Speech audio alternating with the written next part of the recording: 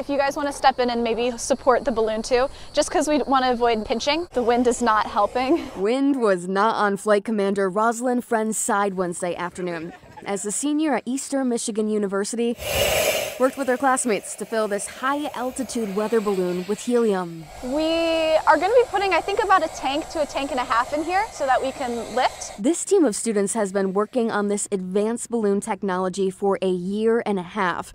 You're watching them test launch it for Monday when they plan to release this huge balloon into the air to document the solar eclipse.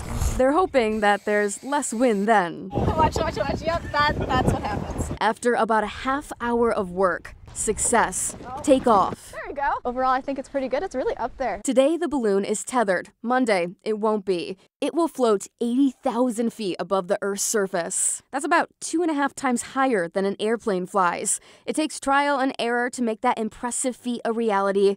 You're about to see that. About 15 minutes after students launched this balloon, the line unexpectedly snapped leading all our scientists on this mad dash to catch their equipment as some of it crashed into this pond. The whole video system is um, soaked. Hey, there it goes. Hi. Successful test. Successful in that the team's emergency cutdown system allowed their most important equipment to fall here, while their replaceable balloon body floated away. Do we think everything will be okay by Monday? I think so. I choose. I'm going to choose to be an optimist.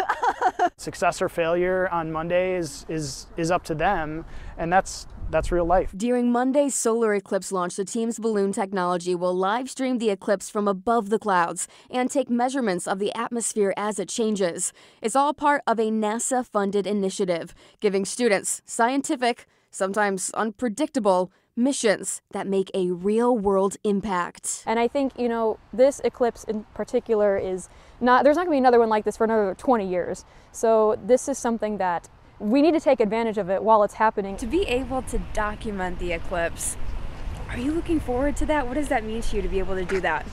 um, it's just, it's so cool to be doing science. Like I get to do like real science. And I put that link for where you can watch the balloon's eclipse live stream with this article on our website.